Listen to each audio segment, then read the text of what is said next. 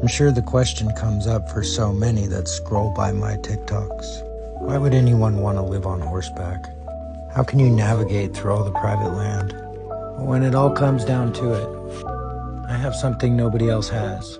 I have the ability to hop on my horse, ride into the mountains, and say fuck you all. Truth is, I'm stubborn, and I'd rather have my life and live it too. I never owned horses in the same way everyone else does. We have no home, no trailer, no paddock, so my horses tie me to perpetual movement within the landscape. But it's not total freedom. It comes with its own bondage.